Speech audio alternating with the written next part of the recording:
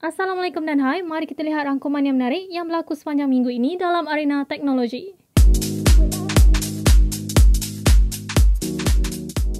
Mingguan aman sekali ini dibawakan oleh Mobi. Mobi adalah servis pensyariman yang membawakan filem-filem terpilih daripada Malaysia dan antarabangsa seperti filem seram roh, gaya Emir Izwan dan komedi lelaki harapan dunia, karya Liu Seng Tat dan banyak lagi filem menarik. Dapatkan 30 hari akses percuma menggunakan pautan di bawah. Pada hari Isnin yang lalu, Samsung secara rasminya melancarkan telefon pintar terbaru yang dinamakan sebagai Samsung Galaxy F62.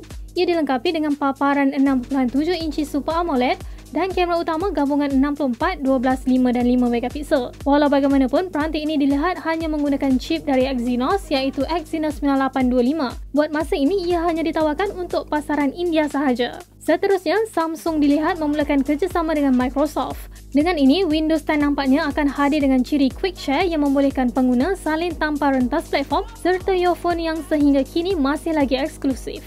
Bitcoin kini mencatatkan nilai sekitar RM200,000 ia memperlihatkan peningkatan lebih RM50,000 dalam masa sebulan. Untuk pengetahuan anda, pada Januari yang lalu, Bitcoin berharga sekitar RM150,000. Untuk hari Selasa pula, Arena Teknologi menyaksikan penawaran laman sesawan khusus untuk rujukan maklumat mengenai vaksin COVID-19.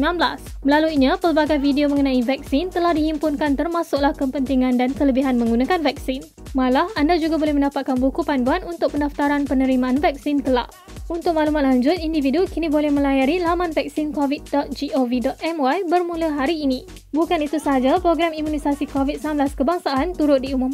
Ia akan dilancarkan secara rasmi pada 26 Februari yang mana Perdana Menteri Tan Sri Muhyiddin Yassin akan menjadi penerima suntikan pertama. Selain itu, sebanyak 605 lokasi telah dikenal pasti yang akan dijadikan sebagai pusat pemberian vaksin PPV dan 54 lokasi pusat simpanan vaksin PSV di seluruh negara. Pendaftaran akan mula dilakukan menerusi aplikasi MySejahtera, laman vaksin COVID, talian hotline, klinik kesihatan dan juga program bantuan KKM sendiri. Selepas pendaftaran, setiap individu akan menerima tarikh temu janji dan lokasi PPV. Dalam berita teknologi peranti pula, Astro kini melancarkan kotak TV terbaru iaitu Ultibox pada harga RM49. Ia menawarkan akses kandungan dan saluran yang sama pada Ultrabox. Apa yang membezakannya adalah penawaran kandungan hanyalah ditayangkan pada resolusi HD. Terbaru, Trend Micro melaporkan terdapat kerentanan yang ditemui pada aplikasi ShareIt. Aplikasi ini membenarkan pihak ketiga untuk mengakses dan memanipulasi data pada peranti pengguna. Buat masa ini, pihak ShareIt masih belum memaklumkan berkaitan isu ini dan pengguna dinasihatkan untuk menangguhkan penghantaran fail melaluinya sehingga isu ini selesai.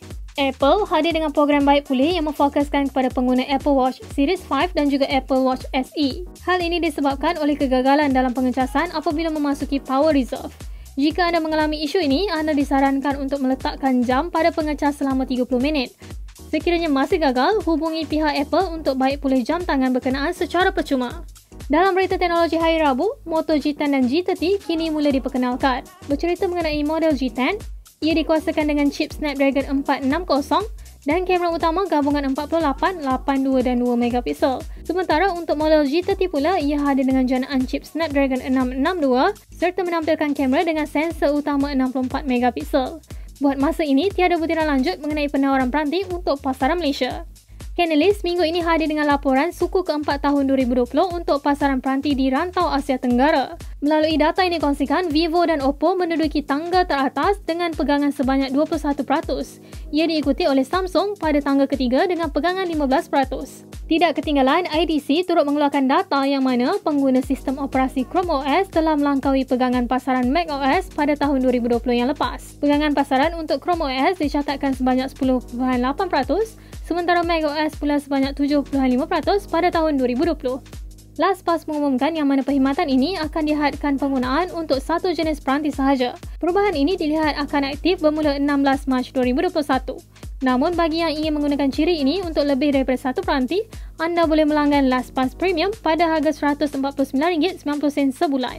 Google Play Store dilihat telah menambah sokongan pembayaran melalui Touch Go e-wallet Menerusi kaedah ini, anda tidak lagi perlu menggunakan kad debit atau kredit untuk melakukan transaksi. Beralih ke berita hari Kamis, Facebook mengumumkan akan menghalang syarikat media dan pengguna Australia untuk berkongsi pautan berita di laman sosial berkenaan. Pengumuman ini selari dengan perundangan baharu di Australia yang memerlukan syarikat internet untuk membayar penerbit berita apabila menggunakan kandungan. Untuk peranti pula, Poco memperkenalkan penggunaan logo dan maskot baru di India. Ia mengintegrasikan maskot berbentuk marah tetapi senyum serta menyatakan antena pada kepala seumpama robot Android. Maxis Fiber kini mengumumkan penawaran penghala generasi baru yang menyokong Wi-Fi 6. Menerusinya, anda boleh menerima sambungan internet newwire yang lebih pantas selain menyokong format Easy Mesh yang membolehkan pengguna menambah penghala mesh tambahan dengan mudah di kawasan yang mempunyai isyarat Wi-Fi lemah di rumah.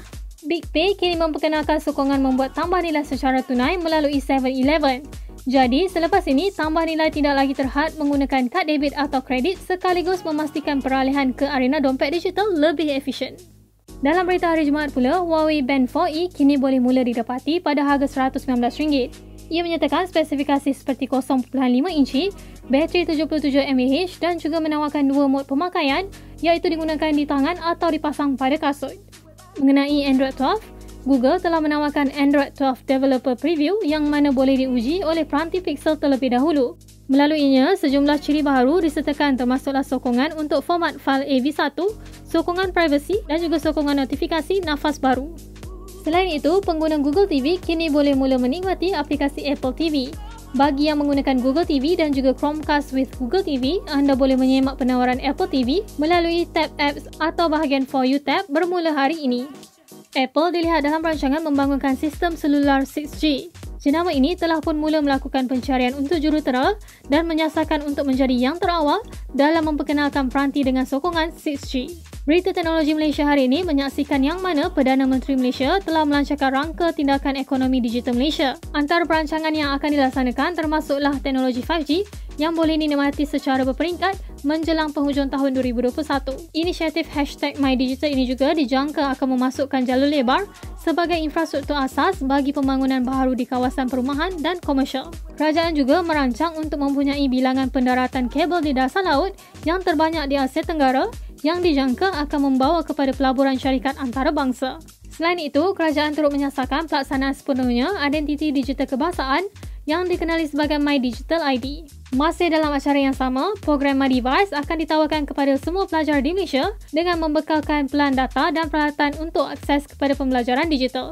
Dan akhir sekali, Perdana Menteri turut mengumumkan yang mana semua sektor awam dan agensi akan menyediakan kemudahan transaksi nir tunai sebagai pilihan utama menjelang tahun 2022 kelak. Kesemua perancangan ini dijangka akan dilaksanakan secara berperingkat sehingga tahun 2025. Jadi itu sahaja rangkuman yang menarik yang boleh kita lihat sepanjang minggu ini. Bagi anda yang meminati perkembangan teknologi, jangan lepaskan peluang untuk menonton kandungan menarik di Amans. Anda boleh menyaksikan ulasan mengenai Galaxy Buds Pro. Jadi bagi kebanyakan orang di luar sana pasti tertanya-tanya antara Buds, Buds Plus, Buds Live dan Buds Pro yang mana paling berbaloi untuk dimiliki dan saya harap ulasan ini dapat menjawab kesemua persoalan yang ada.